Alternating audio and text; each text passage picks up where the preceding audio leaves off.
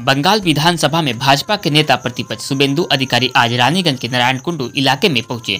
उन्होंने यहाँ पर कुछ दिनों पहले ओसीपी हादसे में मरने वाले सात लोगों के परिवार को एक लाख एक एक लाख रुपए प्रदान किया। इस मौके पर उनके साथ आसनसोल दक्षिण की विधायक अग्निमित्रा पाल जिला अध्यक्ष भाजपा बप्पा चटर्जी, स्थानीय भाजपा नेता कार्यकर्ता उपस्थित थे। इस मौके पर पत्रकारों से बात करते हुए शुभेंदु अधिकारी ने कहा कि ओसीपी में सात लोगों की मौत हो गई थी। लेकिन यह बड़े अफसोस की बात है कि लगभग उस हादसे को एक महीना हो गया अभी तक तृणमूल कांग्रेस का कोई नेता मंत्री लोगों से मिलने तक नहीं आया। जिला प्रशासन की तरफ़ से भी इनकी खबर नहीं ली गई है। उन्होंने कहा कि आज उनकी तरफ से मृत व्यक्तियों के परिवार वालों को एक एक लाख रुपए की मदद राशि उनके तरफ से प्रदान की जा रही है साथ ही साथ आसनसोल तृणमूल कांग्रेस के नेताओं के भ्रष्टाचार की सारी जानकारी उनके पास है सारे साबुत उनके पास है उन्होंने आरोप भी लगाते हुए यह कहा है आइए देखते हैं यह पूरी रिपोर्ट একেবারে ইলিগেল ইসিএল এর খনি নয় তালিকা দেখে পড়াশোনা করে এখানে এসেছি দাদা এখানে যেমন কয়লা চলছে বালিয়ে চলছে আমার মনে হয় না আসানসোল রানীগঞ্জ যে ভাইপো যতক্ষণ বাইরে থাকবে চলবে মন্ত্রী পঁচাত্তর ভাগ তুলে দিতে হয়। মন্ত্রী মহোদয় তো কিছুতেই যাচ্ছেন না কিছু করার নেই। এখানকার ওসি এখানকার আইসি রানীগঞ্জ তার বিরুদ্ধে সিবিআই মামলা হয়েছে ওরলি থানাতে। মহারাষ্ট্রের ওরলি থানা মুম্বাইতে। সেখানে ছ কোটি টাকা একজন ব্যবসায়ীর কাছ থেকে এক্সটোরশনের যে মামলা হয়েছে এফআইআর তাতে দুজন সিআইডি অফিসারের নাম আছে। আর আইসি সুদীপ্ত বাবুর নাম আছে। এবং এই কেসে এডিজি যুক্ত।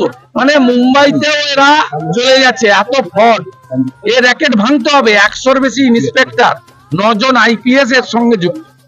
এবং মূলটা হচ্ছে ভাইপো। কোথাও কিছু বন্ধ হয়নি নতুন বোতল পুরনো মদ।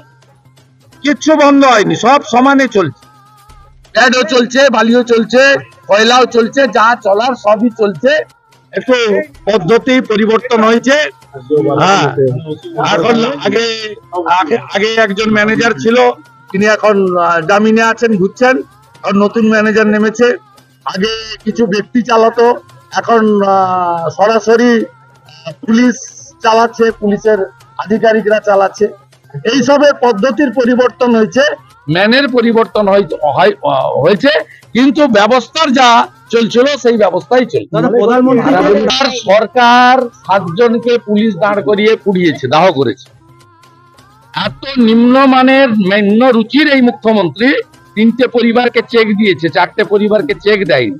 পিঠে চামড়া উঠে যাবে বলে তৃণমূলের নেতারা কয়লা সিন্ডিকেটের কাছ থেকে চাঁদা তুলে চারজনকে আলাদা করে কিছু টাকা দিয়ে গেছে নন অফিসিয়ালি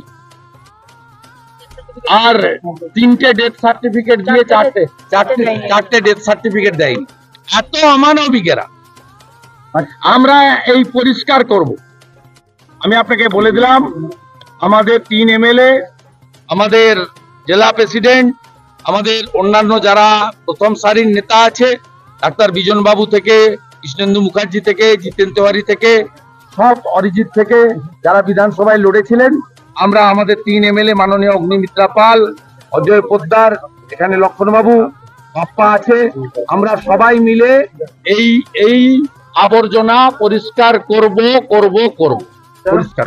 যারা চোর তারা জেলে যাবে। তিনি বেছে বেছে নাম বলে দিয়েছেন। ঠাকুর ঘরে কে আমি তো কলা খাই প্রধানমন্ত্রী